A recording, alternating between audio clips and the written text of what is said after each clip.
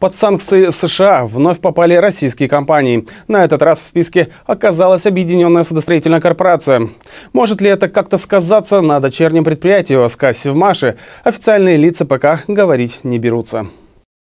Федеральные интернет-издания уточняют, что ограничительные меры, касающиеся Объединенной судостроительной корпорации на практике, означают замораживание ее активов в США в случае наличия таковых, а также запрет на ведение дел с ОСК для американских физических и юридических лиц. А вот так в своем твиттере прокомментировал введение санкций вице-премьер России Дмитрий Рогозин. Решение Обамы наложить санкции на ОСК – верный знак того, что российское военное кораблестроение становится проблемой для врагов России.